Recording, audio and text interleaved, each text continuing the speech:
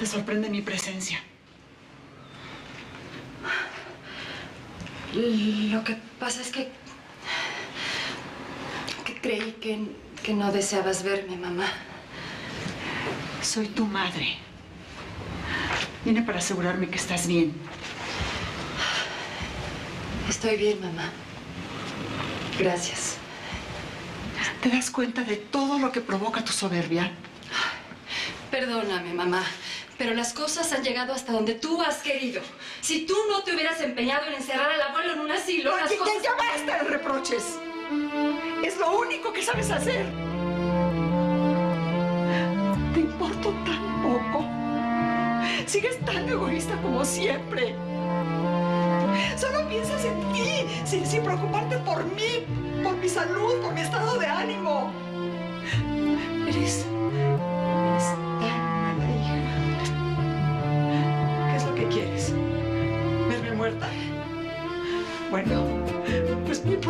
a lograr. Sigues, si sigues con esa, esa actitud intransigente. Mamá, mamá, por favor, no me hables así. Yo nunca he deseado que te pase nada malo. No te creo. Yo te juro, mamá. No, no, no me jures. Demuestra con hechos que te importo. Que te preocupas por mí. Que me quieres. Deja de dañarme. Porque si no lo haces, pronto estarás frente a mi cadáver. Arrepentida. Llorando. Mamá, mamá, mamá, mamá, ¿te sientes mal? Ah, siéntate, ven, mamá, siéntate. Mamá, ah, mamá, mamá, mamá, mamá, mamá, mamá, contéstame. ¿Qué, qué te pasa, mamá? ¿Te, te sientes mal?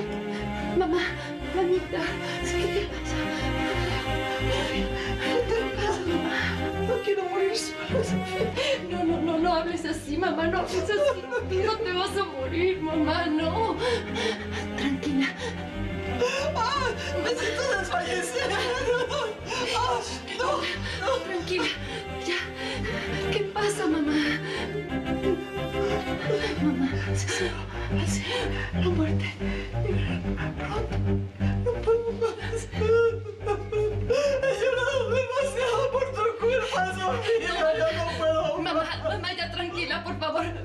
Mamá, perdóname, perdóname, perdóname por todo, te lo suplico, perdóname. Perdóname, mamá.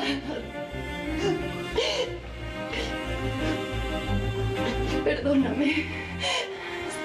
Está bien. Está bien, Sofía. Perdono. Perdono, pero cuando muera, quedará sobre tu conciencia todo mi dolor y mi sufrimiento de madre. Mamá, mamá, mamita, mamita. Mamá, por favor, dime. Dime qué es lo que quieres que haga. Dímelo, dímelo. Haré lo que tú quieras, lo que quieras, mamá. Lo que tú quieras. Mamá. No puedo irme contigo. ¿Qué dices? Tienes obligación de seguir atado a una mujer comprometida. Ya no la tienes. Pero espérate. ¿De qué estás hablando? No te entiendo nada. Pues si yo no tengo compromisos. Mi único compromiso eres tú. Y nuestro amor. Pero yo tengo más compromisos que me detienen. Mi obligación es permanecer al lado de mi madre, porque ella está muy enferma. Yo no puedo abandonarla. Ella, se moriría si yo me voy. Tengo que quedarme, Juan. Debo quedarme a su lado. No puedo creer que seas tan cobarde. Que no te atrevas a defender nuestro amor. Me duele mucho. Me decepciona mucho tu decisión. Pero tampoco te puedo obligar. Es más, ya ni te voy a decir nada. Adiós, Sofía. Adiós para siempre. te deseo que seas muy feliz. Porque yo sin ti... más, no.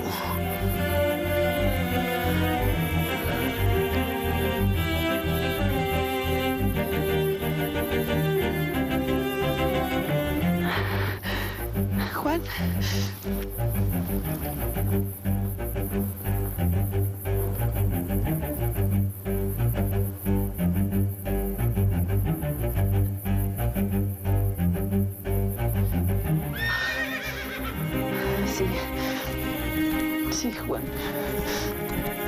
Soy una cobarde. Tienes razón. Pero no podía hacer otra cosa. Mi corazón, mi conciencia. No me lo perdonaría. Perdóname. Perdóname. Antes que nada, deseo que las cosas queden bien claras para que no haya malos entendidos. Regresé por ti, mamá, por tu salud. No regresé por Fernando. Así que no esperen nada de mí. Yo hubiera preferido quedarme en el convento o irme muy lejos. Pero tu enfermedad me hizo renunciar a mis deseos. Voy a quedarme siempre que acepten ciertas condiciones. Tú no estás para poner condiciones. Gabriela, por favor. Bueno, ¿cuáles son esas condiciones? Pues en primer lugar, quiero otra vida para mis hermanas y para mí. No puedes seguir tratándonos como niñas, mamá. Ya somos mujeres. Debemos tener más libertad. ¿Qué más? Que mi abuelo regrese a la casa. Tu abuelo está perdido. Se escapó del asilo y nadie sabe dónde está. Anoche hablé con el padre Tadeo. Él me dijo que el abuelo está en casa de los reyes. ¿Qué? ¿En casa de esos albañiles? ¿Qué hace ahí? Pues tendrás que preguntárselo a él. Pero seguramente se siente más contento que en el asilo. ¿Eso es todo? ¿No?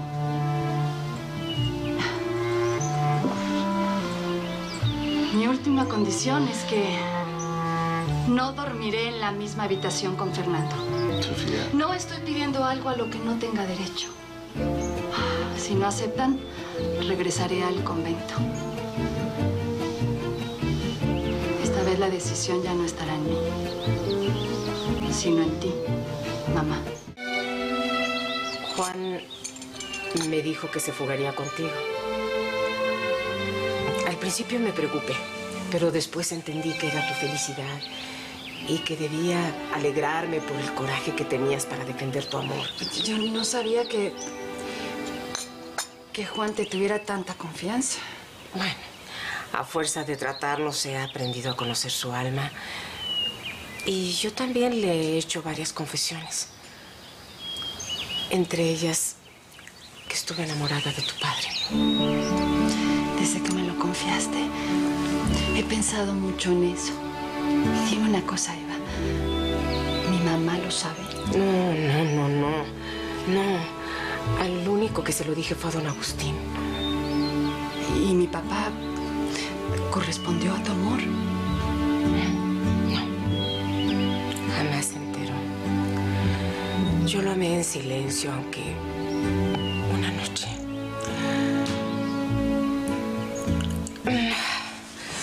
No, no, no. Dime, Eva. Dime, por favor. Tú sabes que yo nunca traicionaría tu confianza. Una noche. Una noche que tu papá había bebido. Yo. Yo. Me metí en su cama y. e hicimos el amor.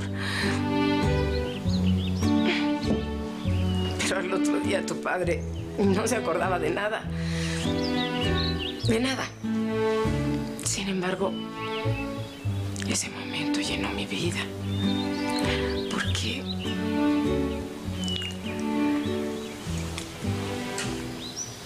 porque quedé embarazada. Sí, Sofía. Quedé embarazada y, y tuve una hija de tu padre.